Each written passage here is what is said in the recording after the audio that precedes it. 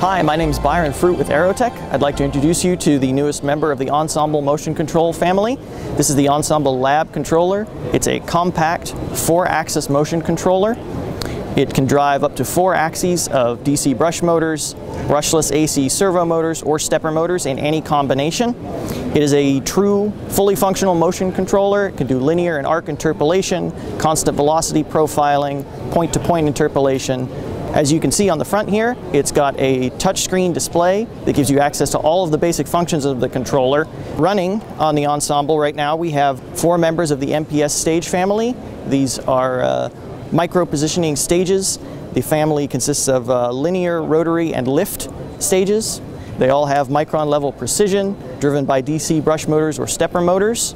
They can be stacked and configured in almost any combination for multi-axis applications. The last thing we have running on here is one of our nanotechnology stages, the ANT95. It's a stage with a linear brushless servo motor. It makes one nanometer steps, so that's a real minimum incremental motion of one nanometer, not just electronic resolution.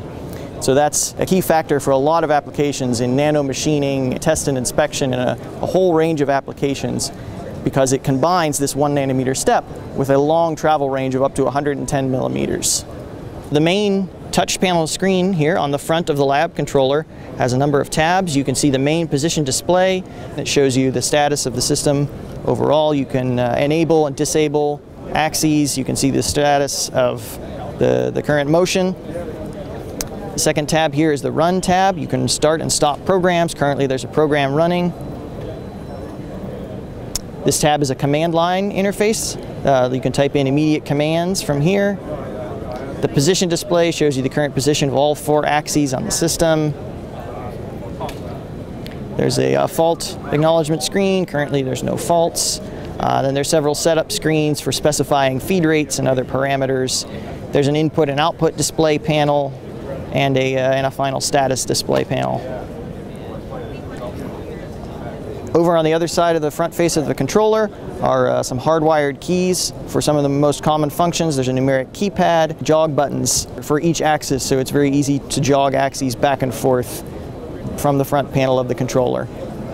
The Ensemble Lab controller also comes with Aerotech's full suite of Windows applications for programming, diagnostics, and tuning. You can connect to the lab controller over Ethernet or USB the lab controller also can be used as a node on an EPICS or Tango network in a distributed control architecture. The lab controller can be programmed using Aerotech's AeroBasic programming language.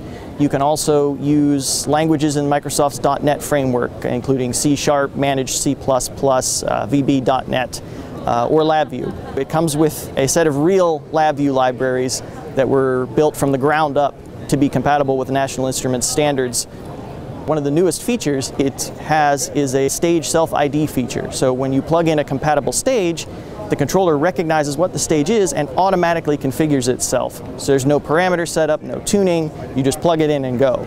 So that all adds up to a controller that you can spend less time setting up and more time working on your research.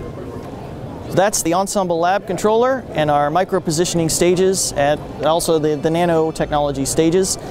That's what's new from Aerotech here at CLEO 2013. If you'd like more information on those, go to our website at aerotech.com.